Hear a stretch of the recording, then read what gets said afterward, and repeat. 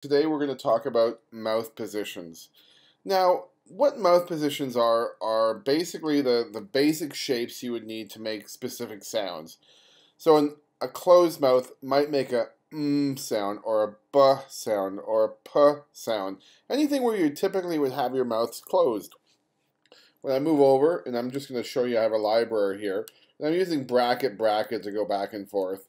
And let's just turn on my um, mouse pose so we can kind of see where we're where we're looking.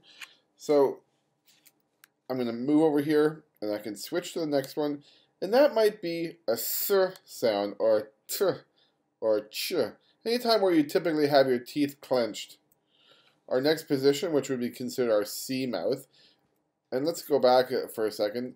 We always call this one A mouth, B mouth, C mouth, D mouth, E mouth, F mouth, G mouth, and H mouth, but those are not really the sounds that they make.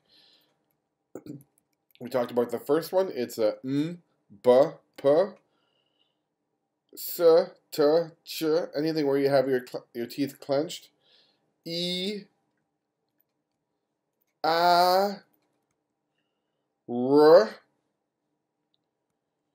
u or o, f or v. And this one, where the, the tongue, and the tongue is kind of a little bit hard to see, that the tongue is underneath the um, underneath the uh, the teeth, would be the um, l mouth.